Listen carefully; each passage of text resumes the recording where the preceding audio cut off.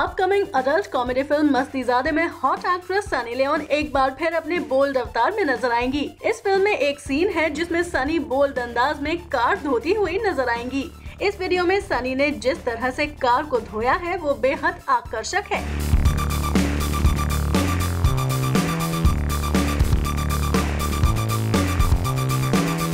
इस फ़िल्म में Sunny Leone के साथ तुषार कपूर और वीर दास लीड रोल में हैं। खास बात तो ये है कि फ़िल्म में सनी डबल रोल में नज़र आएँगी। इसमें एक है लीला ले ले और दूसरी ले ले ले ले मिलाप झावेरी के निर्देशन में बनी ये फ़िल्म उनतीस जनवरी को रिलीज़ होगी।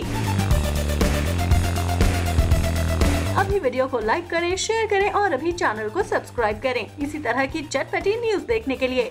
फिर मिलेंगे मसालेदार खबरों के साथ। Bye bye